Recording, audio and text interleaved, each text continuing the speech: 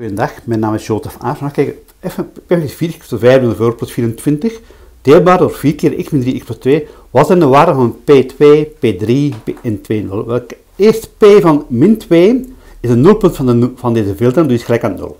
P van 3, die daar staat, is ook een nulpunt van de, deze teller, dus ook hier is ook 0. En P van 0 is als je 0 invult, hou je over de laatste constante term is 24.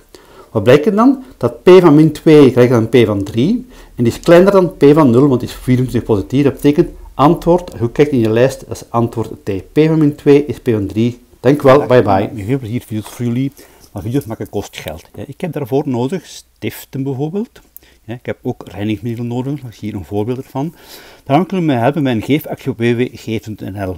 Daar kunnen een beetje geld storten voor mij geld. Hoe doe je dat? Je gaat naar www.geef.nl.